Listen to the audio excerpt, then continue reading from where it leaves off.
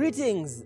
A lot of us are crazy on social media with comments on the election process, on the political parties and the candidates and everything up and down. Um, but it doesn't just end there. After making the comments, after making your point, after arguing, there is need for you to actually come out and vote.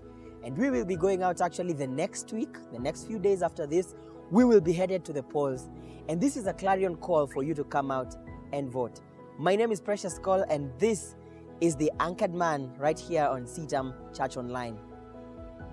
A few days ago, I had a very interesting conversation with a friend of mine about the elections that are coming. And, and he was very passionate about his candidate of choice, and he kept on selling and convincing me. And I wouldn't say who it was, um, but he kept on convincing me why that was the right person. Of course, I had a, a, different idea, and we talked and we talked and we talked for a lengthy period of time.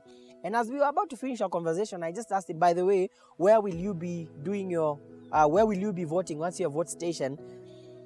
And he actually doesn't even have a voter's card.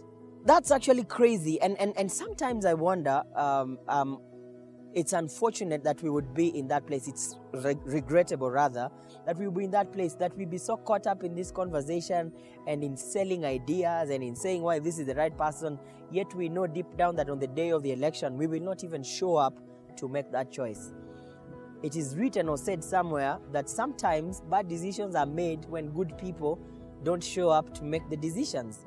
Sometimes bad leaders come into office because good people have refused to exercise their right to participate on the table of decision making.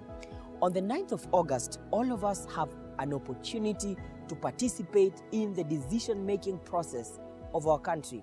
If we'll be crying two years from now about the choices we made, then we'll be able to look back and say, yes, I'm actually experiencing, experiencing the consequences of my choice it's much more regrettable for a person who does not come out to exercise that choice, and now you have to live and endure the consequences of choices made by other people. My call to you today is please come out and vote. Come out and exercise your choice. God has given us an opportunity to participate. And those of us that are believers and Christians, we have the responsibility to not only pray about this process, to not only pray about our political leaders, but to actually show up on the material day and make those long queues and stay there and exercise choice. Why? Because sometimes that's how we are able to also align with whatever God is putting in our hearts concerning the leaders that we believe He is giving us for the season that is at hand. Here is a clarion call to you. Please come out and vote. Anchored men, please come out and vote. If you have to travel up country, please make prior travel arrangements. But I'm asking you to please make it a desire that you will come out and vote so that we may all participate in shaping the next five years. Five years is a long time. You don't want to risk it. Five years can make you or can break you. You don't want to risk it by not participating in a very important process that actually determines the outcome and the quality of life that you will enjoy from that moment. Thank you for watching. I want to believe that you'll step out and vote.